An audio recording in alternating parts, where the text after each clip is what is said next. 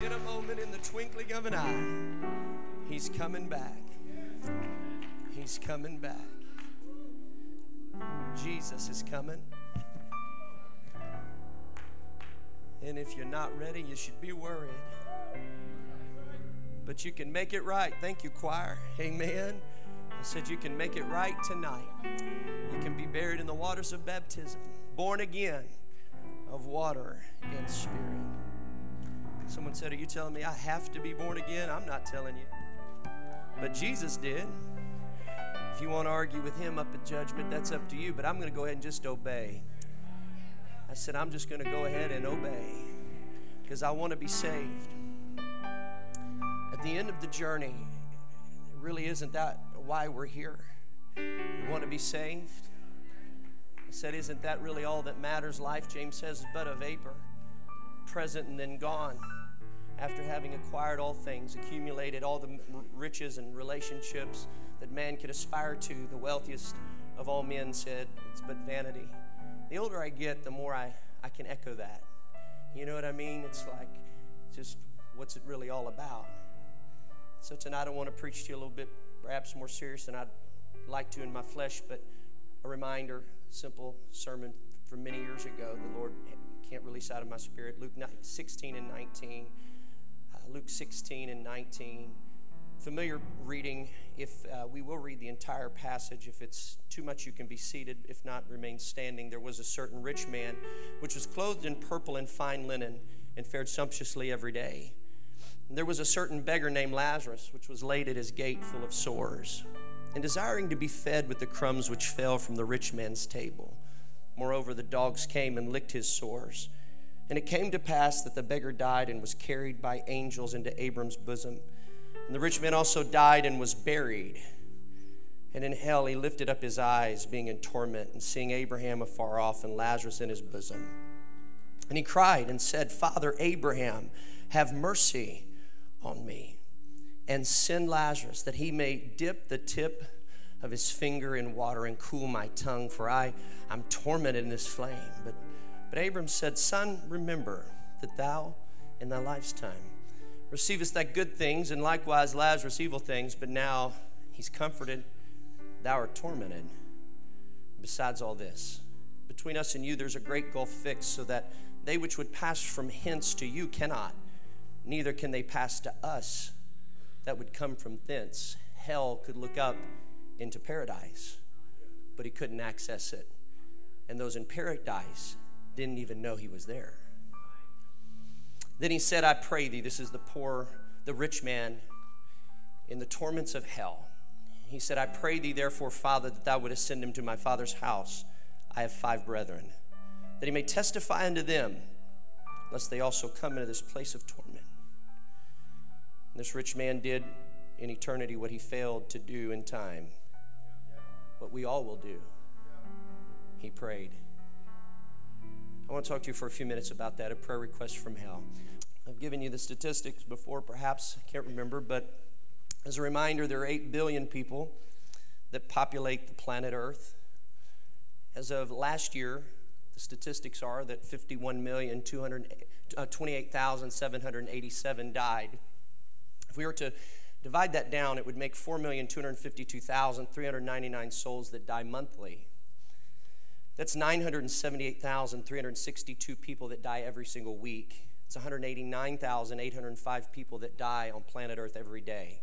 5,825 people, young people, die every hour. It's 97 every minute. According to the research of my Bible school professor, Dr. Talmadge French, there are approximately 25 million oneness believers worldwide. While studying for this, I took into account that that was almost 20 years ago. So I said 30 million people that are oneness just believe in singular that Jesus Christ is one God. So if we are to say that every person that believes that God is one and that it is Jesus is saved, it would make a, a fifth of a single percentage point of the entire world's population that's saved. One fifth of a single point is saved. In other words, from the time I started my sermon, or I was up here five minutes ago, we're right at 500 deaths already there's one fifth of a point percentage that one of them was saved. I know we shout and dance, but it's definitely something we need to talk about. For there's no movement on the planet increasing at the rate at which hell is. The Bible says that it hath expanded itself. On this Sunday night, it is with sadness that I report to you hell is having revival. Society today has made hell a curse word. It's just a, a joke.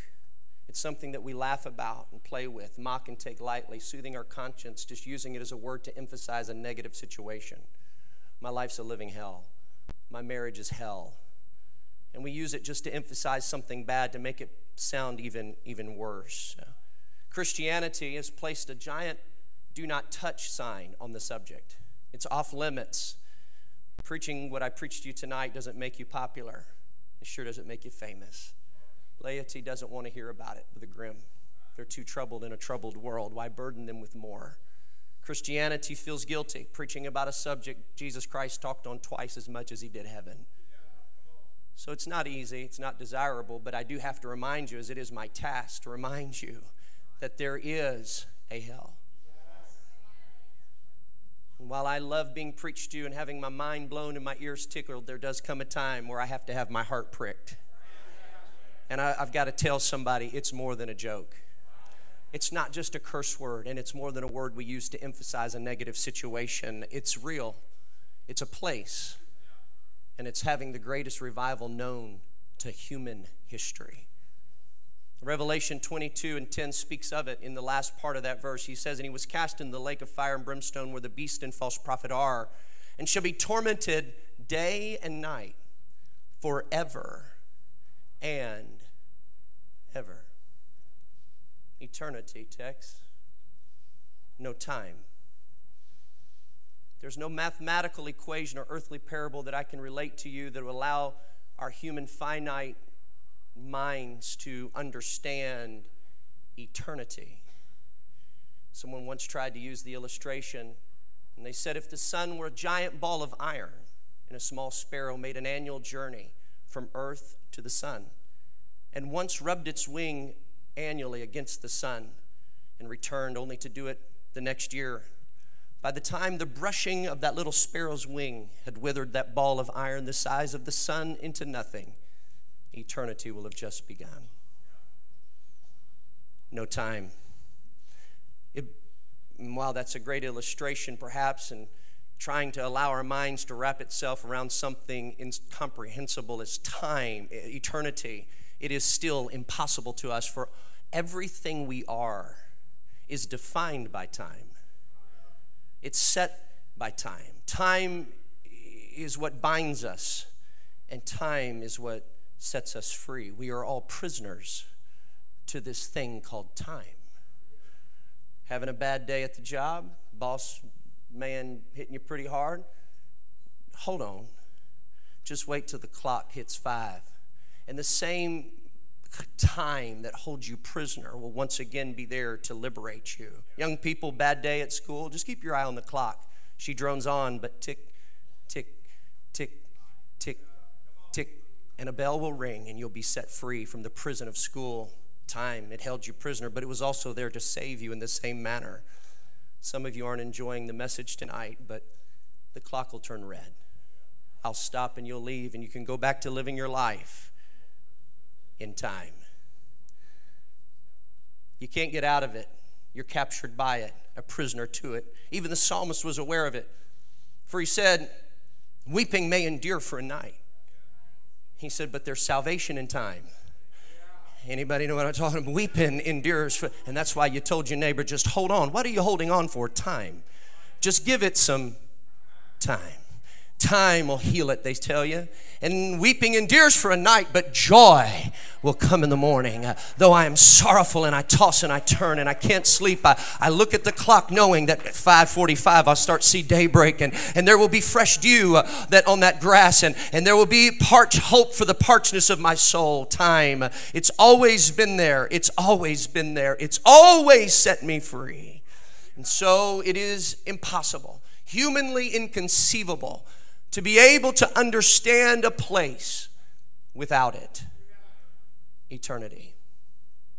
No sunrise, no sunset, no dew on the grass, no, no hope, no time, eternity, forever. Everything heaven is, hell is not. The Bible says that there will be gnashing of teeth there, there will be terror there, there will be loneliness, and it will be forever, never fading.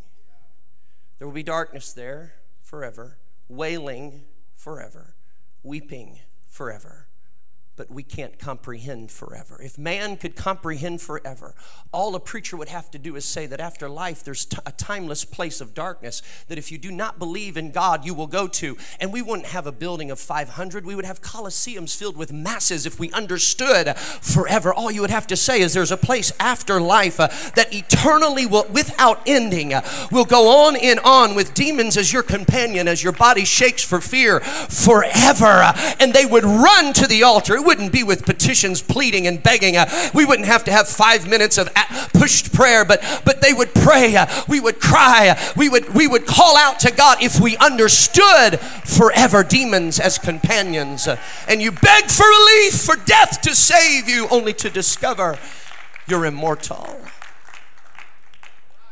The flesh burns from your body, only to be replaced with new. They'll bite at your flesh, the Bible says. Filth, worms eating at your body forever.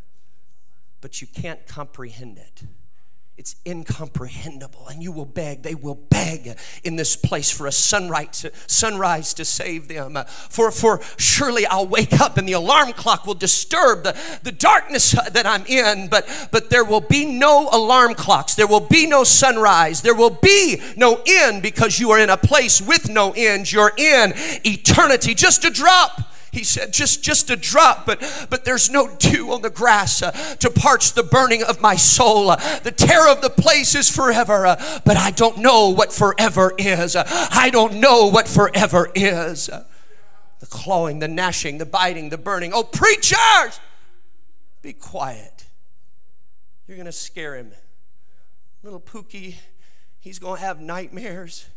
You're going to make him scared.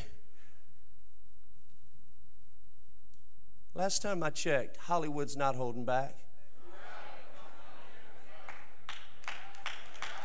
Last time they're not asking for permission to put things on your kids' screens and they're not asking for your authority. Come on. Uh, no, no, no, no, no, no. Last time I checked, they've got they've got ratings on video games. There's filth pouring out of that stuff uh, that's supposed to be pure and innocent, uh, promoting homosexuality, promoting gender dysphoria, promoting sex before marriage and fornication. The, the games aren't Mr. and Mrs. Pac-Man anymore. It's come on, it's blood and murder and demons and dungeons. Uh, come on, we are literally in a war of nuclear warfare. Hell is attacking our generation with nuclear bombs. Come on, come on, moms and dad. I said, hell is attacking uh, this generation with nuclear warfare. And we want clergy to rise up and say, oh, grace and goo goo and gaga and la la, and it's okay, do whatever you want, but, but I'm sorry. I'm tired of my ears being pricked. Uh, I'm being tickled in my heart, not being pricked. Uh, so my job is not to make you feel good. My job is to tell you the truth. Uh, and the truth truth is, young man and young lady, you don't want to be lost. You don't want to go to hell. You don't want to fool around, and you need to stop You've got to stop fooling around with the world. You got to stop playing games. It's time to come on, it's time to get off. Yes, I'm going to get up and say there's only one way to be saved. That you've got to be buried in the waters of baptism in the name of Jesus. Yes, we're going to say you'll speak with other tongues as the Spirit gives. Yes, there's going to be some restrictions on how we date. Yes, we're going to tell young people you don't have sex before marriage. We don't have oral sex before marriage. Sexting is sex. Oh, oh boy, you're getting to come on. they're talking about it, uh, but I've got to come on. So let me just tell you what the truth is, and the truth is that's wrong. It's not right. Turn the, these a little bit. I said it's not right. Oh, preacher, you're just so strict. You're so strict. You're so, we need, a, you need to be a little more flexible. No, that's not what the world needs. The world does not need more flexible men that won't take a stand for anything. What the world needs and what our young people need is a man that'll rise up and define righteousness and unrighteousness, godliness and ungodliness. The church isn't where you come just to feel good and you leave when you feel bad. Church is what saves you from hell. This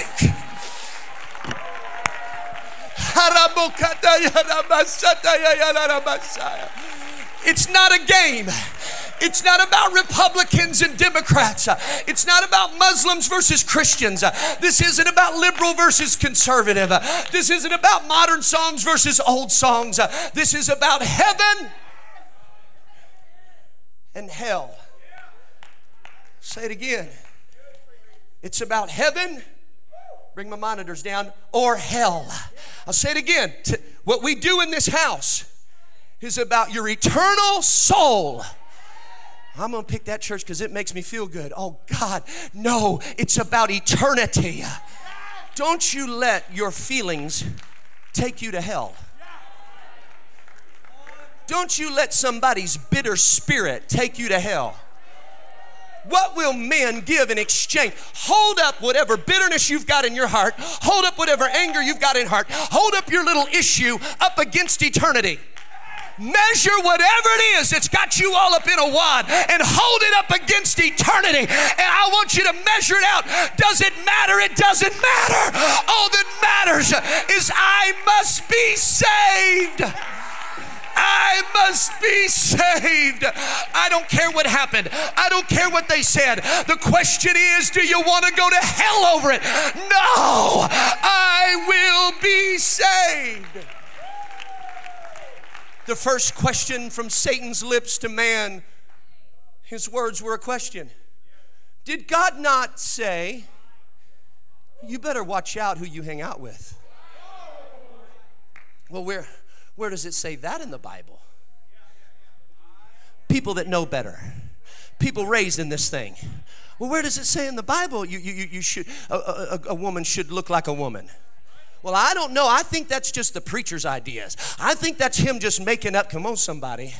You question every little thing. They question holiness. They question righteous living. They question then it'll be the way we worship. Come on. You watch me, I'm preaching to you.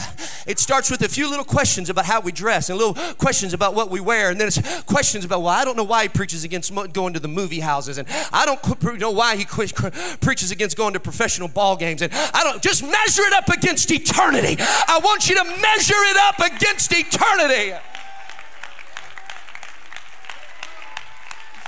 Then you know what you start questioning? You start saying, well, does it really take all that clapping? Does it really take all that dancing? Does it really take all that shouting? Then you know what's next? Does it take Jesus' name baptism? Is it really important that we speak in tongues? I don't think that's all that important either. Next thing you know, you don't believe anything. And it started with a question. Young people, if your friends in this house are questioning this truth, you say, Get out of I rebuke you, Satan. There is nothing more satanic than questioning God's holy word. Come on, young people. And if somebody asks you, where in the Bible does it say that you shouldn't cut your hair? You ought to know where it says it. First Corinthians and 11. When it says, where does it say that a woman shouldn't wear that which pertaineth to a man? You should know where it says it. And then you should make some friend choices.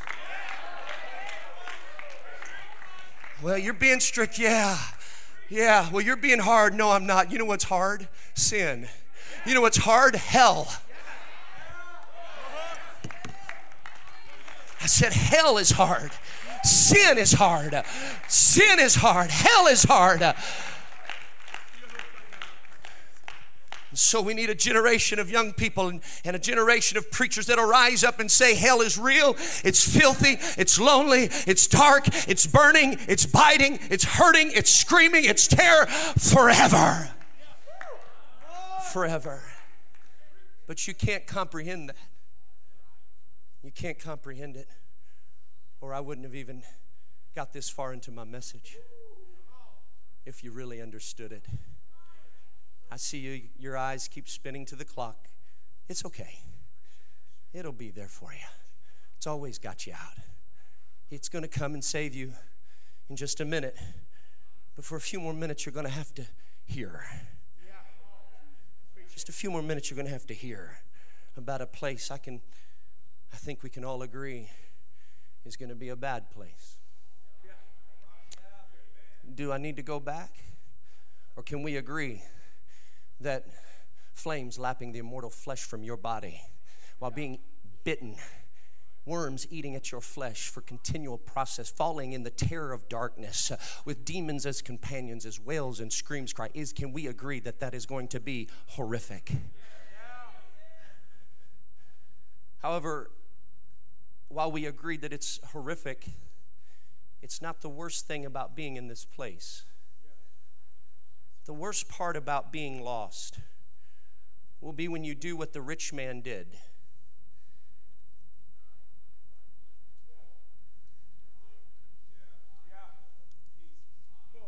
Lift up your eyes, Joey. They'll lift up their eyes. You know what he's going to see? You know what they're going to see? The Bible says he looked up and he saw paradise. He's, I, you're going to see me. I'm, on, I'm not going to be in hell. You're going to see me bumping into Brother Joey saying, Yo, bro, what's going on? We made it! Yeah! Have you seen the streets? They're gold just like he said they were. Have you seen walls, Joey? Have you been over this wall? Have you been to my wall? Come check it out. It's Jasper. Have you been through the gates, Joey? They're they're pearl. Oh my goodness, it's gonna be worth it. Is it worth it, Joey? Is it worth every mile? Is it worth every sacrifice? Was it worth it? Come on, get to church on a Sunday night, dancing on your feet when they hurt. Was it worth it living holy? Oh, we're gonna, oh, won't we have a time when we get over yonder. We're going to sing and shout and dance about when we get over yonder. We're going to run and shout in joy and bliss forever and forever. Forever you watch as you look at us, knowing there's no recollection that you ever existed in time. Forever, forever we dance while you watch haunted by something greater than the flames. You're mine. You're mine. For while we have forgotten, you remember well. Every sermon you heard, every petition and plea you disregarded, every follow up call you pushed the red button on, every altar call you go. I know you can't remember them now but I promise you, you'll remember them then. You'll remember a, a, a young preacher, pastor, that was preaching a message on a Sunday night uh, that he didn't want to preach in his flesh. Uh, you'll remember when he came by your life uh, and walked down your aisle, looked you in the eye, and said, Live for God, live for God, live for God. You'll, you'll remember what you did on this night, sitting callous and hard once again, living, giving another excuse as to why you did not have to forgive the person, why you did not not have to make it right with God. why you were too holy, you didn't have to respond to the altar. You'll remember forever. It'll echo through your mind uh, forever, forever, forever. But you don't understand. You can't understand forever. I say the worst thing about going to hell is knowing you didn't have to go there. I said the worst thing about being lost is knowing I didn't have to be lost. You don't have to be lost. I ask you, I ask you tonight if God, if God in His loving mercy on this Sunday night could reach down into Vidor, Texas, and if He could, if He could take somebody from hell, if He could just reach down into hell and the torments of flame that they're in. And he could extrapolate one human being from that place and place them on Main Street, Vidor, Texas. What do you think they would do if he gave them one more hour? What would they do with one more? Let me tell you what they wouldn't do they wouldn't check the sports scores. They wouldn't care about what Vidor Talks was saying. They wouldn't check to see who was up in the, in the polls. They, they wouldn't check the latest gossip, or they wouldn't run to the ATM to see how much money they had left. They wouldn't check on the latest models of cars or see the latest fashions. who the latest stars are would matter nothing to them, but, but in my mind's eye, I see it. Whether male or female, I don't know, for the flames have lapped its body to where it's just charred that dangles from bones. I see it.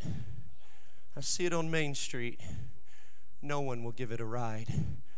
Cars are running into each other as they turn to stare in disgust. But it's not been still since it's been dropped, it's been running. Every step, a little flesh falls off, but it runs regardless of what the stairs. It's running, it's running, it's running, it's running, it's running. I see it, the direction now. It's coming our way. Where will he go? In my imagination, I see it walk. No, it's running again. Right there. It's headed. It's headed here. Yeah, the only place that mattered. The doors will burst open. The stench of this thing will fill this room. All of us turn and we stare at it. One begins to talk to another. Mothers cover their children's eyes. Screams. Some flee the rebuilding. But it doesn't care that people look at it. Its opinions of people matter nothing to this thing. All that matters is one thing. And I, I can make out what once were cheeks, and I see tears, and they're streaming down it as it runs down that, that aisle. It doesn't wait for an altar call, it doesn't need to be begged to the front. But I see it as it throws itself on this altar. Its voice begins to shred the air. Oh, God! Whatever you do, God, I don't want to be lost. I, God, want to be saved. Lord, whatever you do, you've got to save me. Don't send me back to that place. Don't send me back. I'll give what you want me to give. I'll go where you want me to go. I'll live how you want me to live. There's no price. But whatever you do, God, whatever you do, whatever you do, whatever you do, whatever I've got to do, don't. Don't send me back. I'm sorry. God, I'm sorry that I couldn't forgive. I'm sorry, God, that I wouldn't let bitterness go. I'm sorry, God, forgive me. And as it begins to repent of its sins, I watch the mercy of God, which is bound by its love and law of its word, and it sweeps over. And this thing stands up trembling, and the tears now flow like river, and the tongue begins to cease speaking English, and it opens up and begins to speak in a language not known to man or hell from whence it came, but it begins to speak the language of heaven as the Spirit of God. It doesn't have time to argue about whether or not tongue talking is in the Bible. It go ahead and it's filled with the Holy Ghost speaking in other tongues, and then it grabs me and it grabs somebody quickly and it says, Get me to the water. Well, it's not officially baptism Sunday yet. I don't care. I've only got 40 minutes. Get me to the water. Get me to the water. And we rush it to the water. We take that old tether thing and we baptize it in the water in the name of Jesus for the remission of its sins. It comes up and water begins to wash away the old skin. And that thing that used to be a frown turns into a smile as joy feels its life. It dries off, for the time is ticking. I've got but minutes left. I've got 30 minutes. It dries off quickly. It doesn't even take the t shirt, it puts its clothes back on and it runs. It stops in here on its way out and looks around. It won't be here long. For you know, I've got to get I got some friends, and I got my mom and my dad.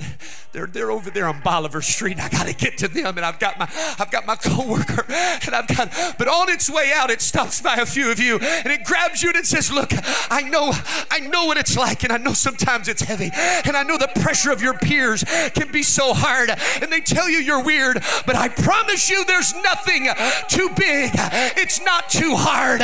Just you don't want to go where I came from. I know sometimes it'll be difficult." And I know that you'll be different than all the other boys. But trust me, don't go where I came from. You get in that altar. There's no price. Hey, son, whatever it takes and you've got to do, you pay it.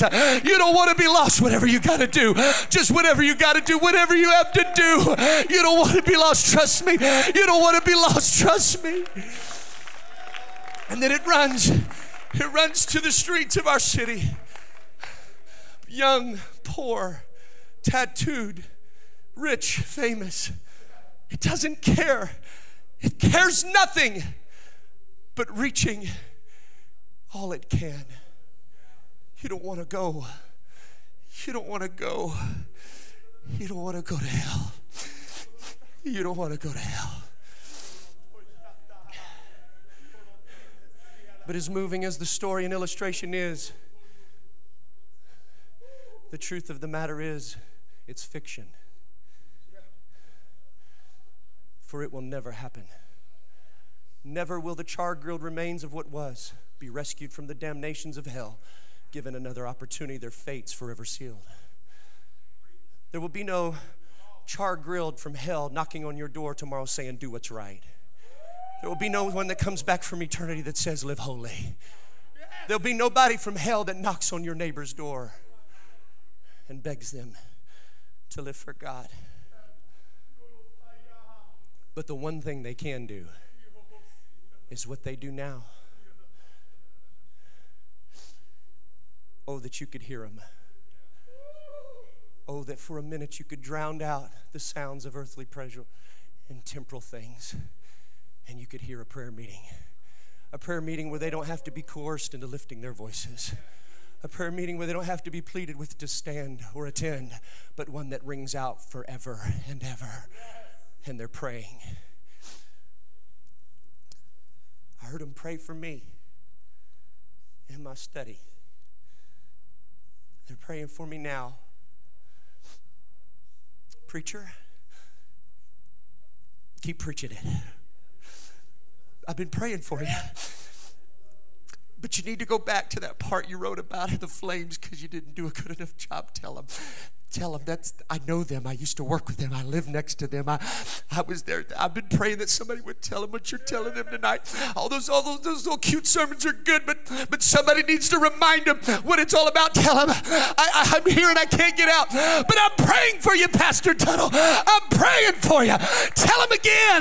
Tell them again. Tell them again. So tonight, regardless of your feelings, and it might make you uncomfortable, I've got to answer somebody's prayer from the from the comfort confines and the constrictions of a damnable hell. And I've got to lean across the desk. And with every fiber of my being, I plead with you please live for God. There's somebody in eternity begging you to live for God. That holiness is not hard, that righteous living is not hard, that godliness is not hard. Stop putting money in front of God, stop putting your feelings in front, front of your future. Live for God, live for God.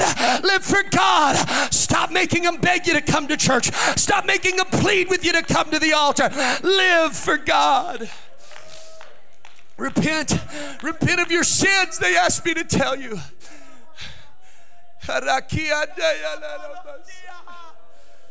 Oh, if you hear them pray for me, surely you can hear them pray for you. That's my that's my cousin that checked you out at Walmart. And you're the you're the only one that can tell him you work next to him every day at the plant and you've never invited him to church. That's my son.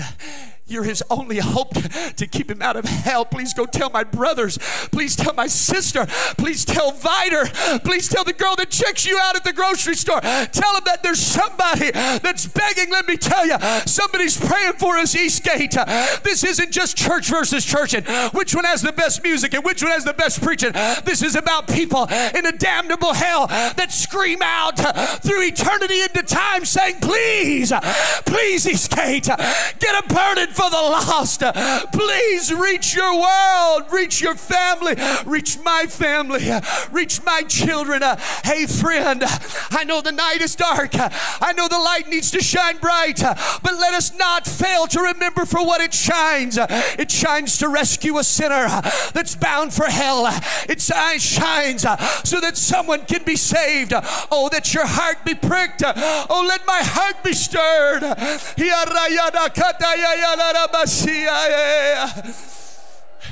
If you're lost, somebody's praying for you. If you're saved, somebody's praying, praying that you'll tell them, come on, you work with them every day. What have you got to lose? Invite them. Ask them if they know Jesus. Ask them if they've ever been filled with the Holy Ghost. Tonight, I wonder if there's a young man or young woman that says, I'll answer a prayer. I'll get up in that altar. I'm going to bow my knee and make up my mind that I'm going to live for God. I'm going to live for God. I'm going to live for God. I'm going to live for God. You ought to find a place at your pew with your face in that carpet and say, God, stir me. Come on, if there's something in your heart against somebody, you need to make it right. You need to make it right. Come on, if there's something in your life that's not right, you need to make it right. I'm not going to go to hell. I'm not going to go to hell. I'm not going to be lost. I'm not going to be lost.